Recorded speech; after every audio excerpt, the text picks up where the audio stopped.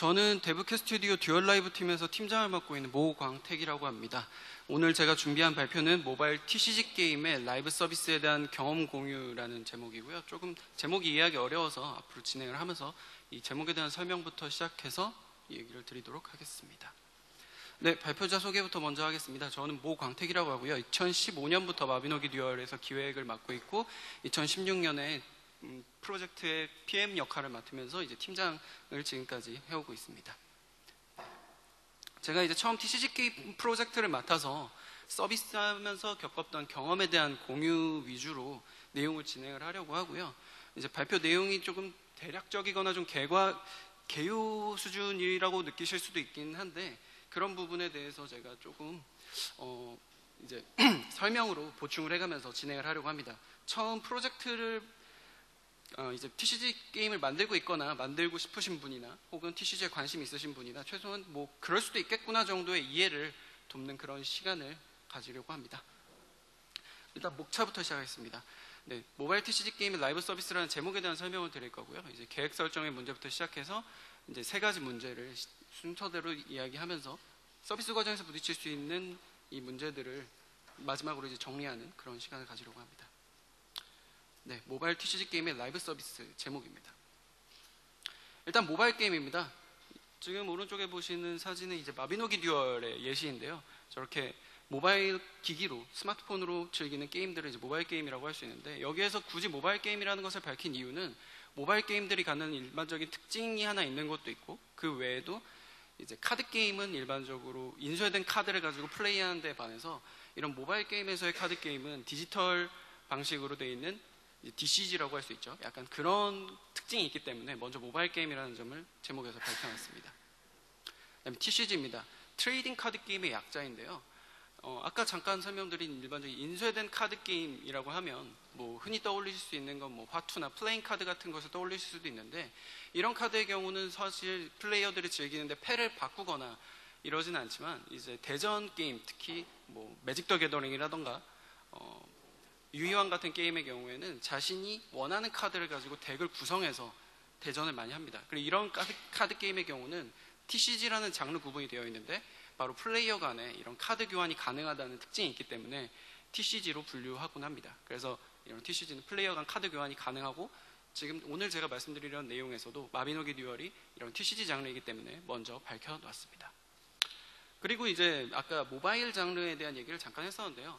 이제 디지털 카드 게임이라는 장르에서는 주로 TCG라고 많이들 얘기를 하지만 실제로는 CCG 장르로 이제 표기하는 것이 사실은 맞습니다. 그 플레이어 간 카드 교환이 불가능하고 collectible card game이라는 건데요. 수집의 재미를 강조하는 이런 게임들이 이제 일반적으로 하스스톤이라든지 어, 섀도우버스 같은 게임들이 플레이어 간 카드 교환이 불가능하기 때문에 이런 장르는 사실은 CCG로 분류하고 이제 요즘에는 좀 많이 이렇게 분류를 하더라고요. 네. 이런 특징이 있습니다. 그래서 제목에서도 저희 게임에 맞게 TCG라는 것을 밝혀놓았습니다. 네, 마지막으로 라이브 서비스인데요. 라이브 서비스라는 용어는 조금 생소하실 수 있는데 어, 개발이 이제 게임 출시 이전과 이후로 나뉠 수 있을 것 같습니다. 근데 이제 게임 출시 이후의 개발을 주로 이야기하는 거고요. 게임의 유지 보수나 업데이트 위주의 내용인데 이제 이런 라이브 서비스라는 그러니까 게임 출시 이후의 개발의 강점은 지표를 빠르게 확인할 수 있는 장점이 좀 있습니다. 다만 어, 어느 정도 단점이 있는 부분도 있는데요. 유저 동향이나 버그에 따라서 빠른 대응이 필요한 부분은 어떻게 생각하면 단점이라고 볼 수도 있을 것 같습니다. 네. 혹시 이제 처음 서비스, 그러니까 게임 프로젝트를 담당할 때 떠오르는 질문 뭐가 있을까요? 제 경우는 이랬습니다. 언제, 무엇을 패치해야 될까? 이런 질문이 먼저 떠올랐었는데요. 이 부분에 대해서 계획 설정의 문제라는 다음 항목에서 다뤄보도록 하겠습니다. 어, 우선 이 질문에서 제가 먼저 생각해 본 것은 아까 처음 제목에서 지적되었던 특징들이었습니다. 이제 모바일 게임이고 TCG라는 장르적 특성 그리고 이미 개발이 완료된 라이브 서비스를 해야 된다라는 그런 부분에서 고려를 먼저 시작을 했는데요. 저는 먼저 모바일 게임이라는 특징에 대해서 먼저 좀 집중해서 이벤트를 설정을 해봤었습니다. 그런 짧은 주기 이벤트를 해봤는데요. 모바일 게임들은 일반적으로 2주에서 3주의 이벤트 와 업데이트를 진행하는 경우가 많습니다. 짧으면 1주까지도 진행을 하는데요. 이런 짧은 주기 이벤트를 진행하지 않으면 플레이어분들이 모바일 게임에서는 주로 좀 지루한 지루함을 많이 느끼시는 경우가 많기 때문에 이런 짧은 주기의 이벤트를 많이 진행을 합니다. 일반적인 카드 게임에서는 많이 진행하지 않는 방식이지만 저희 같은 경우에는 이렇게 짧은 주기의 이벤트를 넣자라는 판단을 했었고요. 그리고 긴 주기의 카드 발매 설정을 하게 됩니다. 뭐 카드 발매라고 하면 trading card game에서는 되게 일반적인 일이긴 한데 왜 그럼 이런 질문이 나올 수가 있을 것 같습니다. 카드 발매는 왜 긴 주기로 진행해야 될까? 이벤트는 짧은 주기로 하는데 그 이벤트 주기에 맞추어서 카드 발매를 한다면 왜 안 되는 거지? 이런 질문이 있을 수 있겠, 있을 것 같은데요. 그 질문에 대한 답을 이제 드리도록 하겠습니다. 오른쪽에 보시는 화면은 이제 마비노기 듀얼에서 랭킹 전의 모습입니다. 주로 이제 일반적인 게임에서 많이 들어있는 순위 경쟁 콘텐츠인데요. 이런 대부분의 게임들이 이런 콘텐츠를 넣는 이유는 플레이어분들이 누가 가장 강한가 이런 것에 대한 의문이 있기 때문입니다. 그래서 이것이 카드 대전 게임에서에 대해서는 이런 식으로 나타난다고 볼 수 있는데요. 최고의 덱을 만들고 싶다. 덱이라는 것은 한 카드 뭉치를 가지고 내가 만들 수 있는 어떤 것을 이야기를 합니다. 이제 이 덱을 가지고 상대와 대전을 하기 때문에 최고의 덱을 만들고 싶다는 욕망은 결국은 어떤 카드가 제일 좋은가 이런 질문으로 이어지게 되겠죠. 그래서 어떤 카드가 가장 센지를 알 수 있게 되고 가장 강한 덱을 만약에 알기 쉽게 된다면 대전 환경이 굉장히 빠르게 해결화가 될 겁니다. 오른쪽에 보시는 저런 카드들이 만약에 굉장히 강하다면 모든 플레이어들이 비슷한 카드를 가지고 비슷한 덱을 만들면서 매 대전이 항상 비슷한 양상으로 흐르게 되겠죠. 그럼 유저들이 굉장히 빠르게 지루함을 느끼실 수 있을 것 같고요. 이제 그렇기 때문에 개발팀 입장에서는 가장 강한 덱을 알기 어렵게 만드는 충분한 양의 새 카드를 추가할 필요가 있습니다. 이렇게 많은 양의 새 카드를 추가하는 경우에는 플레이어분들이 대전 과정에서 어떤 카드가 가장 강하고 어떤 deck이 가장 강한지를 이제 확인하는 그 충분한 시간이 필요하게 되고요. 이런 충분한 시간을 제공함과 동시에 개발팀 입장에서도 카드를 제작하는데 들어가는 기획, 이미지 제작, 동작 구현, 번역, balancing, QA 등의 다양한 절차를 진행하는 시간을 벌 수가 있게 됩니다. 그래서 일반적으로 카드 게임에서 인쇄된 카드 게임과 디지털 카드 게임 모두 시즌의 형태로 한 100장가량을 구성을 해서 발매하는 경우가 많은데요. 와비노기 듀얼의 경우도 한 3개월에 100장가량의 카드를 구성해서 발매를 해왔었습니다. 그렇기 때문에 이제 카드 발매는 이런 충분한 주기가 필요하게 됩니다. 아까 모바일의 이벤트로 잠깐 다시 넘어가면요. 모바일 게임에서의 주로 이벤트가 2, 3주기, 2, 3주 주기에 2, 3주 주기로 이제 진행되는 반면에 아니, 진행되기 때문에 어, 항상 그 이벤트 시기에 맞춘 컨셉 구성으로 이벤트를 진행하는 경우가 많습니다. 마비노기 듀얼에서도 오른쪽에 보시는 것과 같이 스켈레톤이라는 카드가 있는데요. 이름은 똑같지만 그리고 뭐 수치도 똑같습니다. 대부분이 똑같은데 저 이미지가 다른 것을 보실 수가 있는데요. 저런 카드를 이제 마비노기 듀얼에서는 특별판 카드라고 부르는데 이 카드의 컨셉은 이제 할로윈 컨셉입니다. 그래서 뭐 많이 모양이 다른 걸 볼 수도 있죠. 이런 이벤트를 진행하는 것은 이제 카드 수집의 재미를 제공을 합니다. 그렇기 때문에 이벤트는 당연히 필요한 부분이 있지만 짧은 주기로 진행되는 것도 이런 요소가 있다라고 보시면 될 것 같습니다.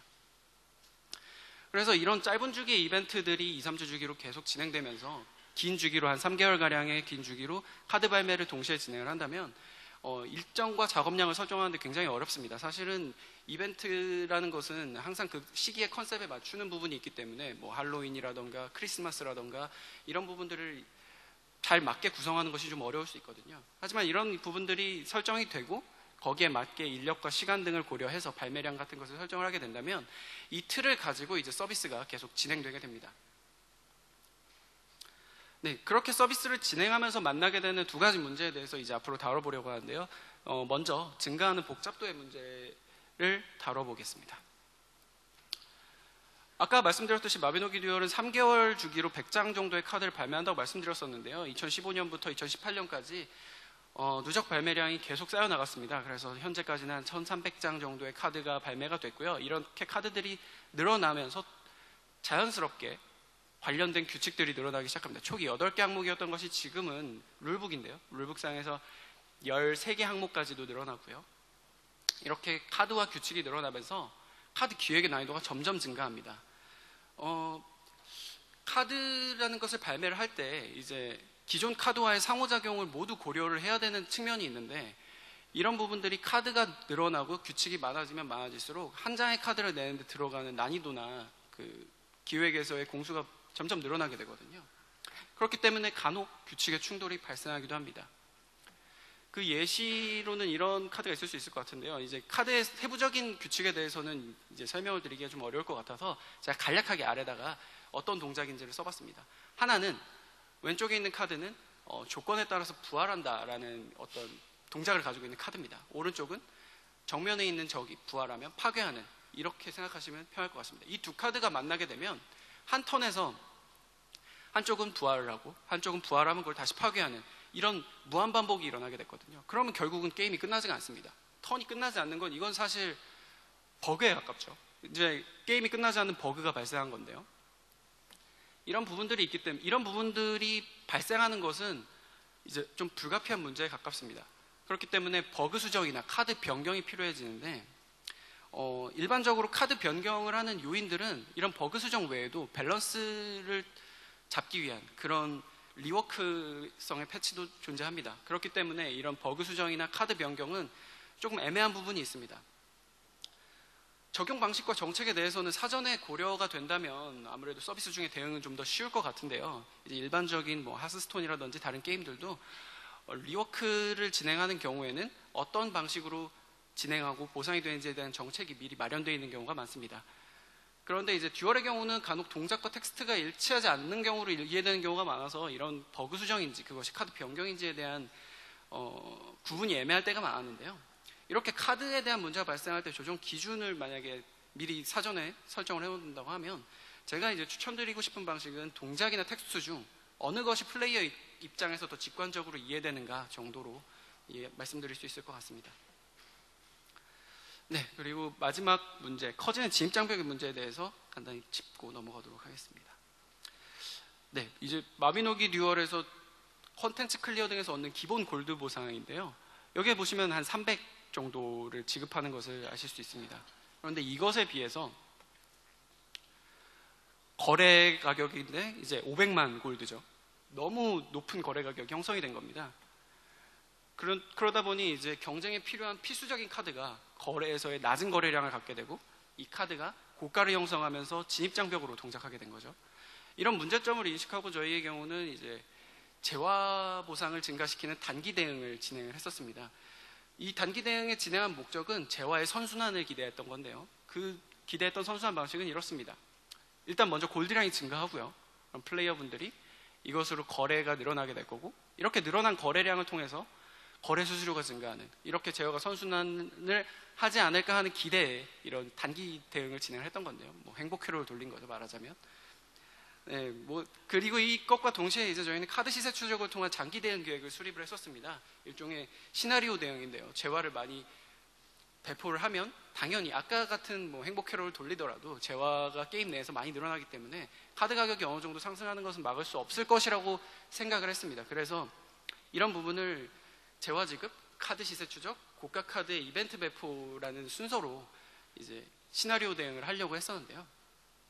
어, 그러나 좀 피할 수 없는 일정 변경이 발생했었습니다. 저희 프로젝트 같은 경우는 2017년 말에 어, Steam launching을 하는 일이 있었는데 그 Duel of Summoners라는 이름으로 launching을 하면서 저희가 뭐 기존에 했던 계획을 조금 수정을 해야 됐었는데 뭐 일정 변경은 사실 어느 프로젝트든 사실 생기는 겁니다. 그래서 그거에 대한 대응을 못한 것이 사실은 문제였다고 볼 수 있겠죠. 결과적으로는 거래 가격이 다시 상승하면서 진입장벽이 커졌습니다. 이 오른쪽 이미지를 보시면 아래에서 약 350만 정도에 팔리던 카드 가격이 상단에서는 500만 정도로 거래되는 것을 볼 수 있는데요. 이제 카드를 거래하는 어떤 저희 공식 카페 검색 결과로 나온 그런 이미지입니다. 다시 진입장벽을 형성했던 거죠. 그래서 저희가 이러한 개편을 다소 긴급하게 진행할 수밖에 없었습니다. 일정 등급 이하의 카드를 시스템에서 바로 구매할 수 있게 해준 거죠. 어, 이 부분은 사실 큰 틀에서 거래 재미를 해칠 수 있는 요소가 좀 있었습니다. 그래서 그런 문제는 있었지만 당시 진입장벽을 완화하는 것이 장기 서비스에서는 필요하다고 판단을 했기 때문에 이런 대응을 진행을 할 수밖에 없었고요. 이런 문제 대응에 대해서는 제가 간단히 조금 설명을 해드리자면 문제에 대응하는 방식은 여러 가지가 있을 수 있을 것 같은데요. 저는 크게 두 가지로 생각을 하고 있습니다. 하나는 점진적인 대응입니다. 그 오른쪽 상단이 하나의 지향점이라고 한다면 그 지향점을 향해서 점진적으로 매 패치마다 그것에 대한 대응을 해나가는 방식이 있겠죠. 주로 뭐 이런 방식을 한다고 생각하는 것이 아까 앞선 두 가지 문제에 대해서 이제 하스스톤이라든지 이런 게임들은 뭐 시즌 제한을 걸어서 야생을 보낸다고 하죠. 뭐 그런 식의 점진적 대응들을 많이 진행을 하는데요. 이러한 대응은 뭐 단기적인 일정 변경에도 대응하기 좋은 그런 좀 장점을 가지고 있습니다. 대신 이제 다른 하나의 방법은 이제 시나리오 대응이 있을 것 같은데요. 이제 듀얼에서 아까 보여드렸던 사례가 이런 시나리오 대응에 가깝다고 볼 수 있을 것 같은데요. 여기 보시면 아시겠지만 지향점을 향해서 나아가는 폭이 굉장히 큽니다. 그래서 이런 폭이 굉장히 크지만 방향이 중간중간 이제 패치의 방향이 좀 많이 달라지죠. 이런 식의 시나리오 대응을 하는 방법은 이제 일정 변경에는 좀 대응하기 어렵지만 지향점으로 나아가는 폭이 굉장히 클 수가 있겠죠. 그래서 이런 두 가지 좀 차이가 있다고 보는데 듀얼은 당시에 일정 변경이 좀 없을 것이라고 하는 좀 조금 다소 아니한 예상을 했기 때문에 거래 시스템을 활용한 시나리오 대응을 통해서 이제 대응을 한번 해보려고 했었는데 그 부분이 이제 뭐 일정 변경에 의해서 좀 좋게 끝나지는 않았다 뭐 이 정도로 네, 마무리할 수 있을 것 같겠습니다. 네. 그래서 이런 대응을 어떤 것을 선택할 것이냐는 사실 프로젝트의 상황과 판단에 따른 선택이라고 봅니다. 그래서 어떤 프로젝트에서는 어떤 방식을 사용을 할 수가 있느냐, 할 수 없느냐 이런 차이가 있을 수 있기 때문에 점진적 대응이나 시나리오 대응이나 어떤 것이 자신의 프로젝트에 맞는지는 그 상황에 맞게 판단해서 선택할 수밖에 없을 것 같습니다. 마지막으로 정리를 해보겠습니다. 네, TCG 게임 모바일 TCG 게임 프로젝트에서는 가장 먼저 이 프로젝트를 맡게 되면 계획 설정을 하는 문제가 크게 다가오게 됩니다. 듀얼처럼 이렇게 이벤트 짧은 주기의 이벤트를 진행을 하면서 긴 주기의 카드 발매를 동시에 한다라는 선택을 할 수도 있을 거고요. 아니면 모바일적인 특성이 아예 없이 긴 주기의 카드 발매 위주로만 한다라는 결정을 할 수도 있을 겁니다. 혹은 조금 더 다른 방식으로 뭐 짧은 주기의 카드 발매를 계속 이어나간다라는 선택을 할 수도 있겠죠. 어떤 선택을 하시던 간에 처음 계획 설정한 내용이 대부분 이제 서비스 진행 과정에서는 앞으로의 장기 서비스의 틀이 되긴 합니다. 이렇게 틀을 한번 마련을 하고 나면 이 틀에 맞게 이제 서비스를 진행하게 되는데요. 자연스럽게 TCG 게임에서는 복잡도와 진입 장벽이 늘어나게 됩니다. 카드 발매를 하지는 않을 수 없으니까 이제 복잡도나 진입 장벽이 당연히 늘어나게 되는 건데요. 만약에 복잡도나 진입 장벽이 늘어나지 않는 카드 게임이라고 한다면 사실은 카드 발매를 안 하면 되겠죠. 이제 그런 게임들이 주로 화투나 뭐 playing card라고 볼 수 있는 건데 그러면 사실 동시에 재미도 없어질 겁니다. 네. 그래서 복잡도와 진입 장벽이 자연스럽게 늘어난다라고 가정을 했을 때 적절한 대응이 필요할 것 같은데요. 이런 복잡도와 진입 장벽을 낮춰주기 위한 대응이겠죠. 이런 대응의 경우는 각각의 프로젝트에 맞는 어, 판단과 적절한 기준으로 대응을 해나가면 좋지 않을까라고 생각을 합니다. 그래서 이런 부분들이 사전에 복잡도와 진입 장벽이라는 문제가 불가피하게 발생한다는 것을 인지한 상태에서 정책 같은 것을 미리 마련을 해두고 준비를 하신다면 조금 더 서비스 과정에서 나은 결정과 대응을 하는데 도움이 될 것이라고 생각합니다. 짧고 간략한 내용이긴 했지만 조금은 다른 방식으로 문제를 해결해 보고자 했던 어떤 듀얼의 사례가 조금이나마 참고에 도움이 된다면 좋겠습니다. 감사합니다.